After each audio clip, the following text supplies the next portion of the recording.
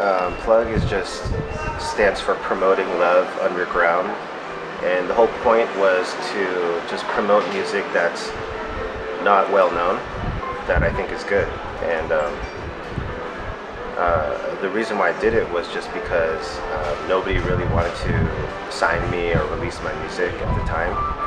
This is like you know 15, 20 years ago, 20 yeah, and so I just created my own label, um, released my own stuff.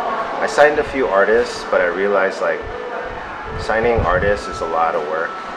It's you have somebody else's career in your hands, and I don't like that feeling. You know, um, I'm already busy like juggling my own career. You know, um, but I'll release like small projects for other artists if I'm involved.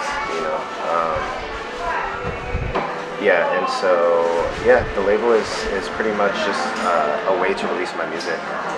Uh, well, mostly it's me, but I released um, in the past. I released a group called the Tones. I released a producer, very talented, named Green Tea.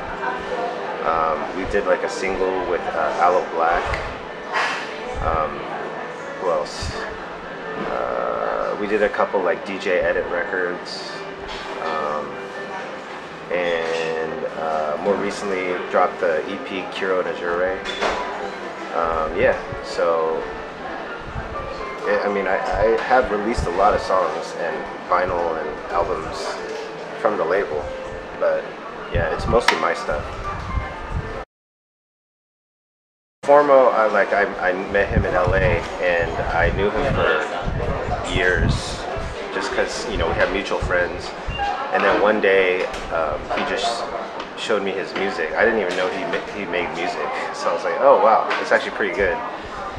So then, you know, he kept asking me for a beat, and then uh, finally, finally I gave him one, and we just recently released it called Imagine. Uh, but actually, we made that song like four years ago, so it's a little bit older, but actually, when I listen to it, still it sounds, you know, it still sounds like good to me, you know. So that's why we released it. And then like yeah, Trout and Julia was introduced to me uh, by my friend Terrence, uh, who uh, he works at KK Farm right now.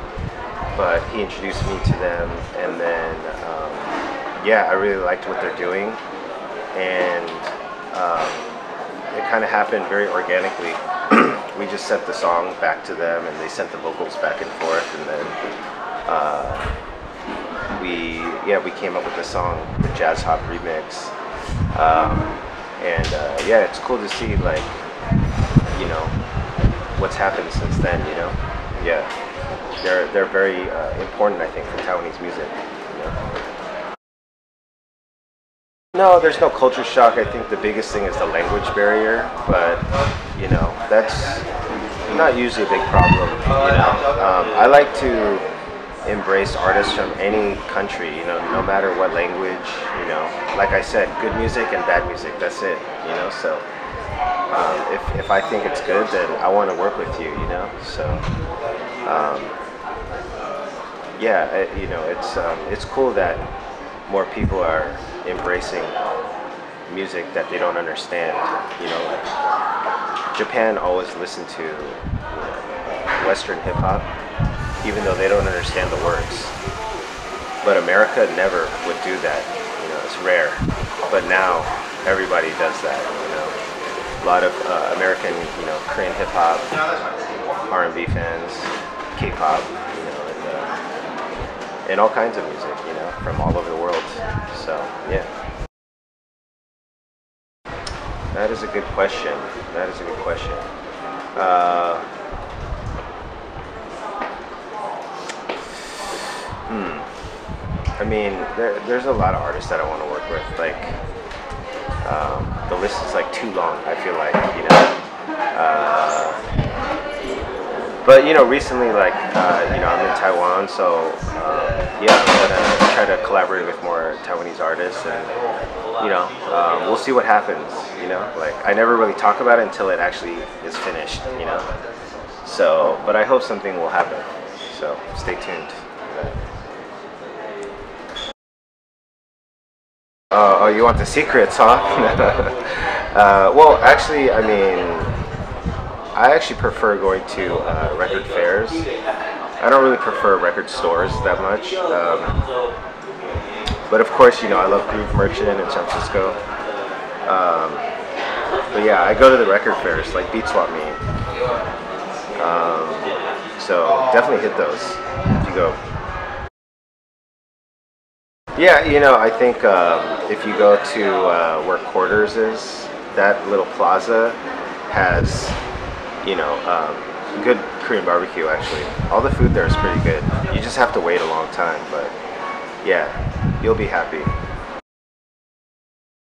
Yeah, I mean, my advice is always the same, you know, like, um, I think, you know, sometimes, like, um, I think there's artists that um, they ask questions like, um, oh, can you teach me how to produce? Or, you know, um, they, people tell them, um, oh, you can't do this.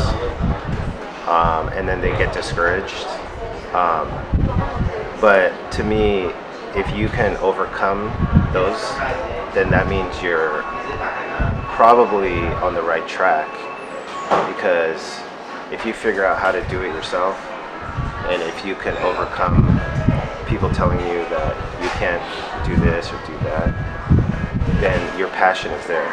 And that's the most important thing. I mean, yeah, like, you know, for me, like, I didn't, there was no YouTube uh, to learn how to make beats, you know? Like, these days, I think it's just, it's, um, if you really want to do it, um, and you don't do it, then you're the only problem.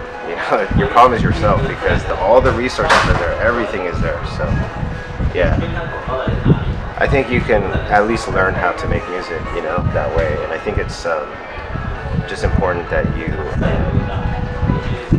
that you you don't listen to like what other people are saying, you know, unless they say your stuff is really whack. You know, if they say that, then just practice, you know. But yeah, that's it. Make sure the passion is there. Yo, it's Kero One. We lounging here with Westside Love in Taipei right now, and uh, I just want to shout out anyone that comes to the wall. Um, we're gonna have a concert with Formo, uh, with uh, Julia Wu, and uh, we got the uh, Beats and Friends crew, Customs crew in the house, so it'll be fun. See you there.